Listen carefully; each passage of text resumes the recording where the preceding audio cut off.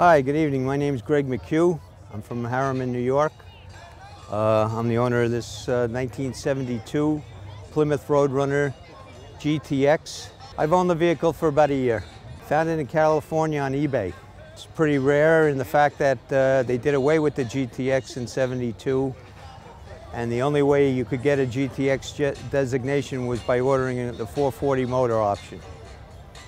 Hi, Everett Homburg from Tappan, New Jersey, and this is a 1980 Clenet, built in an aircraft hangar by a gentleman that uh, designed the Studebaker Avanti.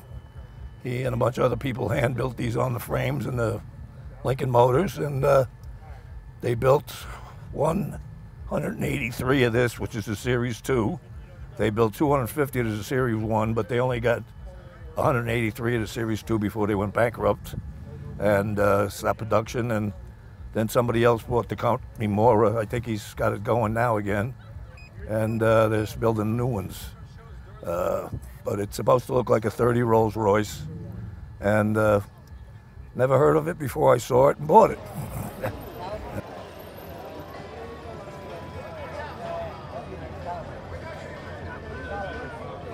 Hi, name's Scott Cleon. I'm from Gardiner, New York, and this is my 1961 Ferrari 250 GTE. I've owned the car since 2008, performed a complete mechanical restoration of the car over the course of about three years at a shop up in Vermont called RPM and pretty much kept it original um, cosmetically and mechanically um, and all the original parts are there. It's a matching numbers car. Um, the 250 GTE was built on the same platform as the California Spider, the short wheelbase, um, the, uh, the Lusso, um, and what Ferrari wanted to do is come out with a four-seater um, to compete with the likes of Maserati and Aston Martin, who are building high performance four seater cars and stealing some of the market share. And as it turns out, this was their best seller um, from 61 to 64. Uh, there were over, a little over 950 made, and about 300 survived to this day. Some were just junked, um, and others were converted into GTO and short wheelbase and California Spider recreations.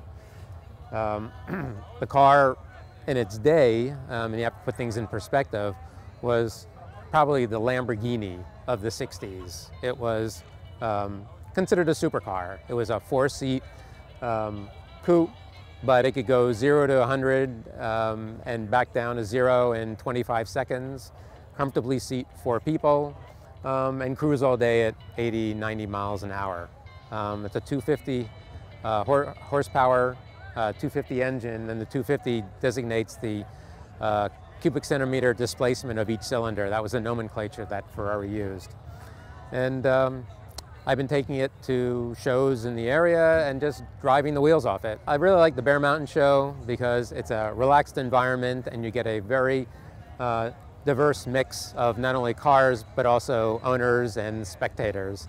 And people just come here with a passion for their own particular car, and, uh, and you feel it. um, anything from a 64 Dodge Dart up to a Countach Lamborghini.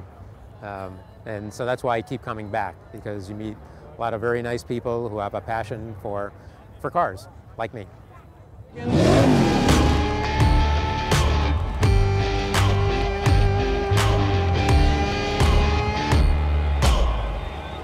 Hi, my name is Hank Ween. I'm from Mahopac, New York. Uh, I bought this 66 uh, Ford Galaxie 500 in 2006 and uh, when I bought it, it was uh, green with a black vinyl top, had dented stainless. It kind of needed a lot of everything. Uh, I brought it home and uh, my wife said, why'd you buy a green car? You hate green. I said, because I have an idea. It may take me some time, it may take me a couple bucks, but I think I can make it to where I really want to. When I was a kid growing up, we used to buy a car for our next door neighbor for 50 bucks, bring it home, and we turn it into a hot rod. Well, that was the whole idea behind this. The only thing is, it cost me a little more than 50 bucks to get into this. The first year I did, uh, I switched the automatic over to a four-speed, found a lot of parts on eBay, got some help from some friends. Uh, 2012, we did the motor, A guy in Danbury, Joe Lapine, put it together for me.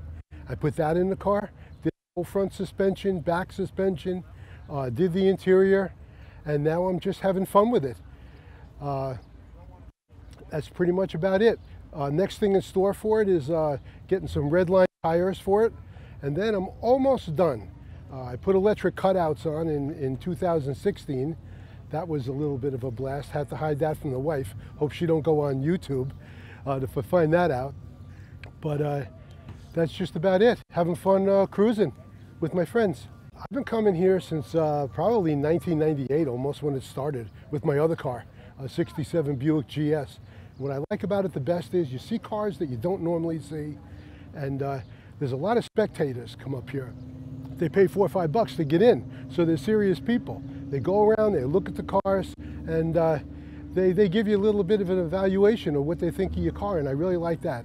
That's, that's a, a, a nice treat for me. I look forward to Wednesdays.